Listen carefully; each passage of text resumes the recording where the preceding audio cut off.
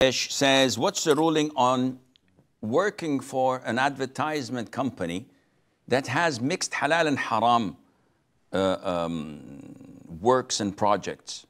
The answer is, it depends on your job description.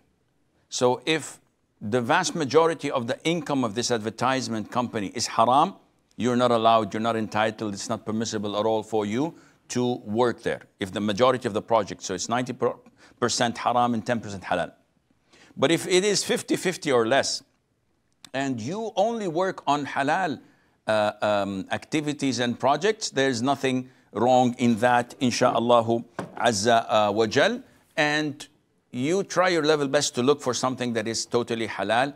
I believe that all countries, including Bangladesh, have uh, a lot of keen Muslims who are trying their level best to make halal money and that would never ever indulge in, in such haram activities. Look for them. They might be rare, but you'll find them, inshallah.